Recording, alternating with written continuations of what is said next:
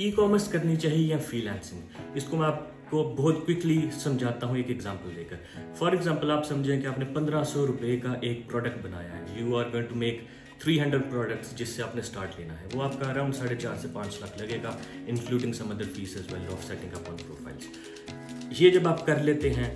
तब आपको may be दो महीने लगे या तीन महीने लगे बट जब आपकी सेलिंग शुरू हो जाएगी देन आप पीछे से और inventory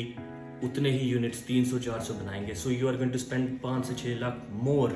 again that is the second cycle और उसके बाद अगर वो भी आपका सेल हो जाए तो इस टाइम तक आपका जो टाइम इन्वेस्ट हो चुका होगा इसमें, वो आपका पाँच से छह महीने हैं। This is given that your journey is being very smooth third cycle जो आप लगाएँगे, उसमें आप फिर से पाँच से छह लाख इन्वेंट्री रिफिल करेंगे and then that is when you make start making a profit जो कि 20 से 30 परसेंट है. सो ऑन एवरेज आप 16 से 17 लाख लगाकर you will be earning two two three lakh. On the other hand in freelancing you can get one order of thousand dollars